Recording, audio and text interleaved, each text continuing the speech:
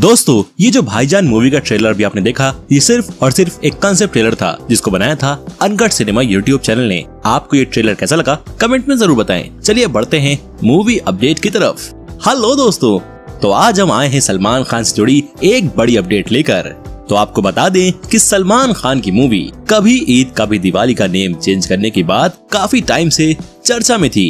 और फाइनली इस मूवी का नाम बदलकर भाईजान रख दिया गया है। तो आप हमें कमेंट करके ज़रूर बताएँ कि आखिर क्यों इस मूवी का नाम बदलकर भाईजान रख दिया गया है।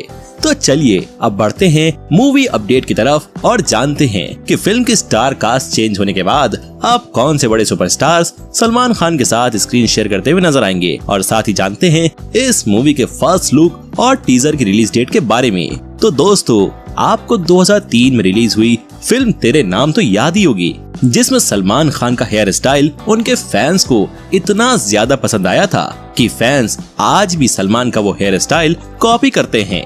और भाईजान फ़िल्म में सलमान का कुछ ऐसा ही अंदाज नज़र आने वाला है।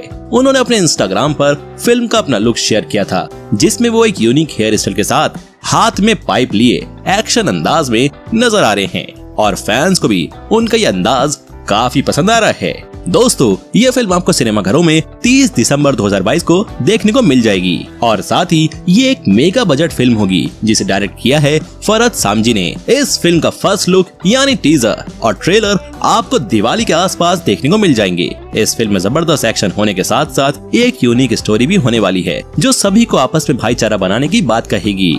तो दोस्तों, भाईजान मूवी बॉक्स ऑफ़िस पर कितना धमाल मचाएगी? वो तो रिलीज़ के बाद ही पता चलेगा। मगर हमारी तरफ़ से बेस्ट ऑफ़ लक आपको ये मूवी अपडेट कैसी लगी, हमें कमेंट में ज़रूर बताएँ। और साथ ही, हमारे इस यूट्यूब चैनल को सब्सक्राइब करना न भूलें। आपका इस वीडियो को देखने के लिए बहुत बहुत धन्यवाद।